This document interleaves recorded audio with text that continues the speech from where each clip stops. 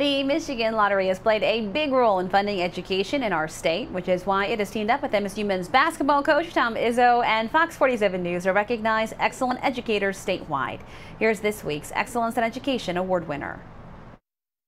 Jon Vondrasek is passionate about science and building relationships in his school. That's why he's this week's Michigan Lottery Excellence in Education Award winner. When I read up on you a little bit, passion was a word used, and and maybe the best word I thought was spending time with kids. I, I, love what I teach. I love teaching science, but it's relationships. Even within my own school at Warner Middle School, it's it's relationships. We really strive and talk a lot about that. And I think it's one of my big strengths is just making connections with kids because you make connections with kids, whether it's on the playing field, whether it's baseball, basketball, in the classroom.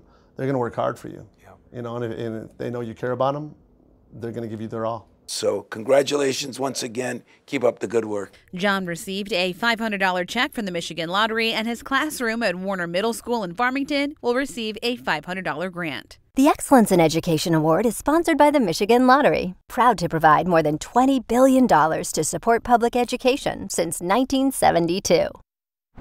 If you know of an educator in your district who goes above and beyond, nominate them for this award. You can find the form on our website, fox47news.com.